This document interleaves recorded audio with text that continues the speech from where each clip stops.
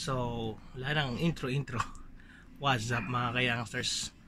So, matagal-tagal din akong hindi nakapag uh, video. Kasi parang feeling ko naman wala naman akong sasabihin. Sensya na. Teka lang. Oops. So, magulo talaga yan. Yan ang aking kwarto. So, kamusta kayo? I hope you're doing fine. I hope you're doing good.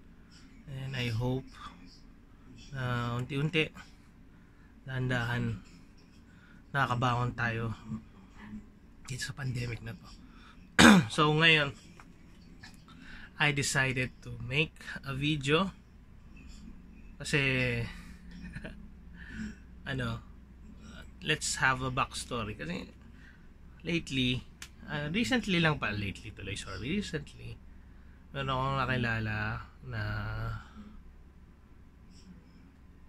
kaibigan kaibigan lang naman pa friends naman talaga lang. And I told her yung mga nangyari sa akin doon sa mga past. Napag-usapan lang namin. Then from then on she she whenever we talk she always tells me hindi ka kamahal-mahal hindi ka ngayon ang tanong ko sa inyo mga ka-youngsters na-experience nyo na ba?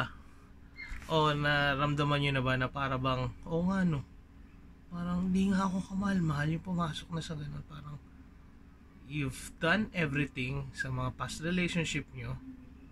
Pero ang ending lagi kang lagi kang iniiwan lagi kang nasasaktan lagi kang sinasaktan yung mga ganong tipo ba? So pag-usapan natin ngayon yan dito sa video na to. So let's go ito na wala na rin cut to. Dire diretso na to. So to tell you the backstory bakit nangyari yung but mm, lagi kong pinopost yun. Kasi most of you maybe are wondering why am I do sa mga friends ko na followers ko rin why am I posting yung di ka kamahal-mahal hindi ka na talaga kamahal-mahal? Ganito yun. Yung ex eto linang ka ex fiance alam niyo na yon si ex fiance pag sinabi kong ex yun yung ex girlfriend ko kasi before my ex fiance may ex girlfriend ako ah uh, so paano ba i-start yun So kami ay kakilala. Actually, uh, schoolmate ko siya nung high school. So, yun. And then we were able, I was able to message her. Tapos, basta naging kami. Tapos laging ang masaklap no kasi, for example, today, today, despedida ko ngayon. Tomorrow I'll be leaving kasi nung time na yun, alis ako, ako Singapore. So what I did, what uh, what I did, natural lang naman yung nagpapadespedida party. So I invited her. Ben, sinagot ako. Di, noong una sabi ko, sigurado ako ba kasi mapapalayo ako. Ito, talaga namang it's really hard for a long distance relationship especially if you're not mature enough if you don't know what is happening do sa sa sa iyo tsaka sa partner mo. So sabi ko, gusto pag-isipan mo muna pagbalik ko, tsaka mo na lang ako balikan na sagot mo pero sabi niya, hindi gusto ko na maging tayo. So it all went well. Pagdating ko doon, parang normal lang naman kami. Tapos maybe 14 days or basta parang 2 weeks pass she message me na parang sabi niya hindi na daw niya ako mahal walang niya sabi ko talaga ngayon mo pa sasabihin sa akin yan ngayon nandito ako. At that time sa mga kakakilala sa akin alam niyo naman ang experience ko doon sa Singapore. Talagang sabihin ko yun ang nagpatatag at nagpatibay na kalooban ko sa kung ano ako ngayon. At that moment parang gusto ko nang tumalon. Pero I talked to her. Tapos I asked my mother if she could talk to her also kasi at least si mother sa Pilipinas. Ako, wala talaga akong magagawa. Di, kaayos kami. Then fast forward, fast forward, the day I went home dito sa Philippines, hindi excited ako kasi, halimbawa ngayon dumating ako. Bukas, lumabas kami. It was a uh, uh, exciting experience kasi that time excited ka eh. Kakasama na kayo after 2 months na wala. Sabi nyo nang, oy naman ito, 2 months lang. Pero nga kasi at that time, I was very young. Hindi na rin, nasa 22, pero bata pa rin yun. So, was kami, we ate uh, sa Robinsons, Manila. Tapos, I think, mas marami kaming ginawa dun eh. I bought her what she wants. So, I made that day very special. Lahat nung, kasi may natira pa akong ano, may natira pa akong pera. Yung mga dollars na hindi ko na naman nagastos, pinapalitan ko. Tapos, yun yung pinanggastos. Ang masaklap na, ito na naman po. Ang masaklap niya. Uwi na sa kotse kami. Excuse. I asked her, So, how's your day? Nag-enjoy ka ba? She was just quiet. And then, sabi ko, bakit? May nagawa ba ako? Ano ba problema?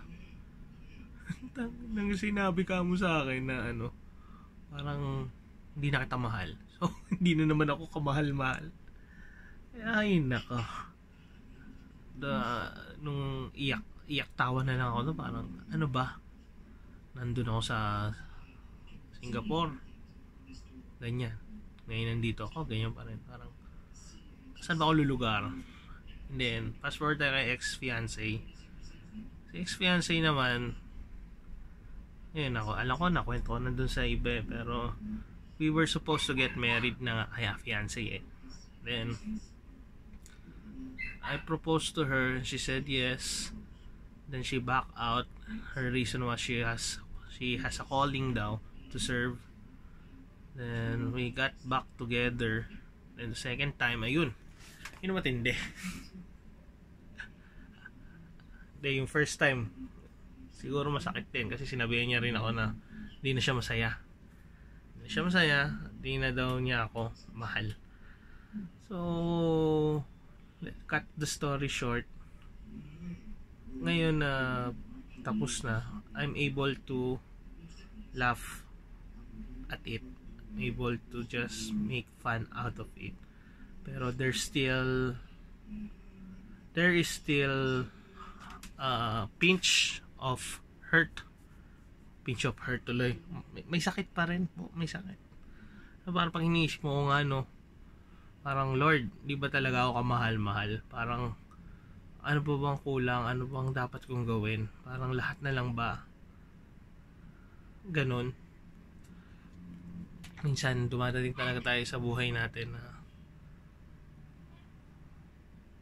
wala lang. Talagang Ewan, hindi ko rin ma-explain eh. Pero siguro kung ikaw man eh nakaka-experience din ng ganong uh, nasabihan ka na hindi ka kamahal-mahal na oh, hindi ka na mahal o gano'n. My advice is learn to accept it first. Hayaan mong masaktan ka. Kasi dun sa sakit, dun tayo natututo kasi pagka inignore mo na ignore, hindi, kamahal-mahal ako. Hindi, kamahal-mahal ako. Kasi pag gano'n ang mindset mo, parang hindi ka lalo mag-move on. Hindi ka makaka-move forward kasi parang wala lang sa'yo. Pero kung alam mo naman din sa sarili mo na you did whatever you have to do. At talagang sigurong mali lang yung tao na nakasama mo o naging partner mo eh madali lang yan. Pero namnamin mo pa rin sa kasi sa pagkakamali ka natututo. Sa pagkakadaba ka bumabangon. So yun lang mga youngsters kaya ako lang ginawa rin tong video na to kasi parang parang ilang araw ko nang ini-status yun and some of my friends are bothering na kung okay lang ba ako. I want to I want them to know na I'm really good, I'm really fine. Pero yun lang, hindi ako kamahal-mahal. Sabihin mo sa salamin, hindi ako kamahal-mahal. Siguro dahil hindi mo mahal ang sarili mo. Yun, yun. Yun siguro ang talagang rason. You have to learn to love yourself for the others to love you. Kasi it, will, it will all start with you. So kung ikaw ay nahihirapan sa buhay mo, huwag kang matakot, huwag kang mangamba. Magdasal ka, manali ka kay Lord. At for sure, lahat ng mga problema mo ay magiging maayos din yan sa takdang panahon. So yun lang mga ka-youngsters. I hope you learn something from this video and continue supporting my channel kahit na bihira na lang din ako mag-upload. Tapos support nyo rin si Ryan yung kanyang Facebook. Ay Facebook tuloy ang kanyang vlog. So yun lang mga youngsters. Have a great day ahead of you and I hope you are doing good at this time of pandemic. Kaya natin yan basta wag lang susuko so this has been your youngsters. And I'm gonna see you soon. Peace out